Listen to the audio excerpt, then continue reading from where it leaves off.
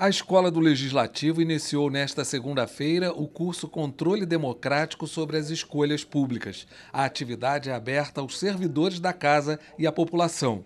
O objetivo das palestras é destacar a relação da gestão pública tradicional com a nova administração pública, fundamentada em paradigmas diferenciados para a obtenção de melhores resultados.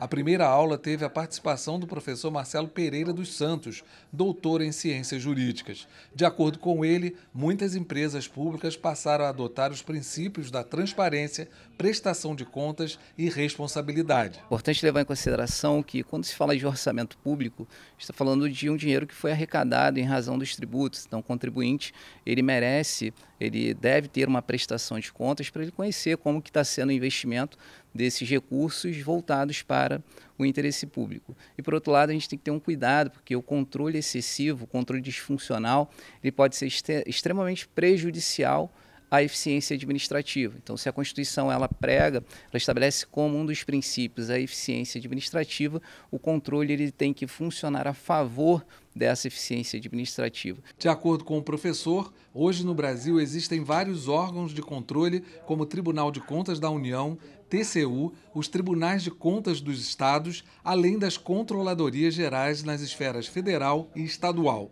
Ele esclareceu que muitas empresas públicas já contam com departamentos internos de controle para garantir melhores decisões administrativas e de gastos. As empresas públicas elas se estruturam.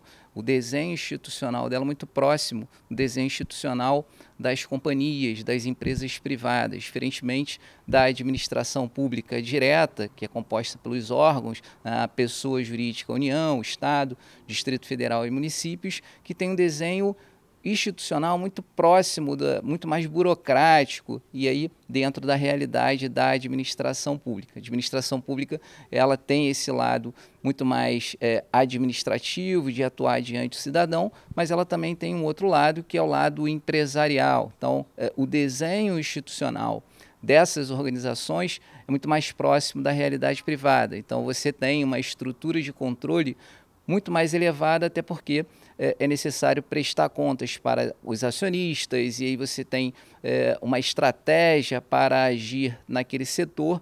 Então, é, a organização ela é muito mais, é, diríamos assim, muito mais bem desenhada para atender esse cenário. A coordenadora da Escola do Legislativo, Adriana Mota, destacou a importância do tema abordado no curso, evidenciando o papel do legislativo na fiscalização das ações e gastos do governo. Os temas de direito relacionados ao controle democrático das escolhas públicas são temas ainda novos para os nossos profissionais.